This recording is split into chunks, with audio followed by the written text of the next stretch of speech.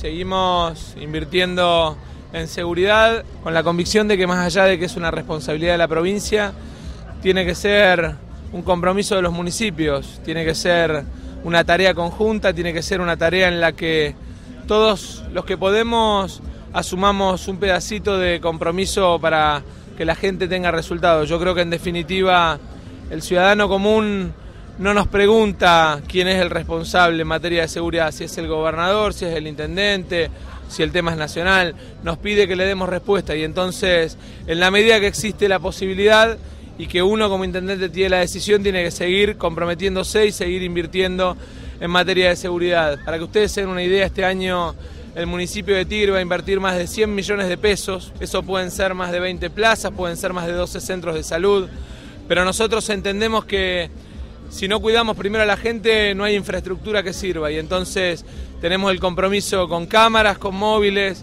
con fiscalías descentralizadas, porque creemos que es muy importante que el ciudadano tenga cerca de su, de su alcance la respuesta en materia de seguridad y porque además usamos la tecnología para responder en materia de seguridad. Es un paso más en las políticas que está llevando adelante el municipio para colaborar con un tema tan importante y tan preciado por la comunidad como es la seguridad. Bueno, hoy estamos dando un paso más, estas camionetas 4x4 que nos van a permitir tener mayor operatividad, poder tener más unidades, poder realmente trasladar equipamiento, trasladar algún secuestro. La verdad es que el trabajo que estamos haciendo de prevención, esto nos va a permitir tener presencia, potencia, prevención, así que estamos muy contentos. Los móviles municipales tienen que ser, como es la política de protección ciudadana en Tigre, una política integral.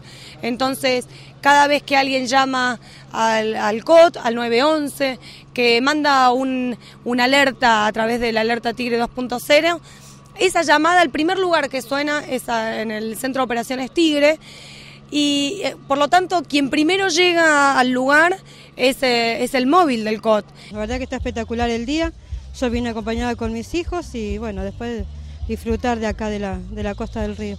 Fantástico que sigan apostando para la seguridad acá de los vecinos de Tigre.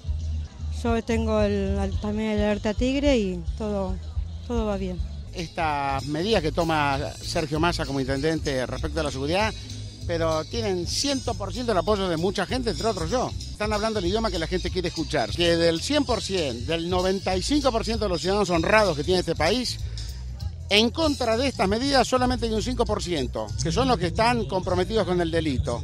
Muy bien, cada día mejor, porque la comunidad lo necesita realmente esto hay vecinos nuestros que viven en la isla y entonces el municipio tiene la tarea de acercarse y de ponerle herramientas de seguridad.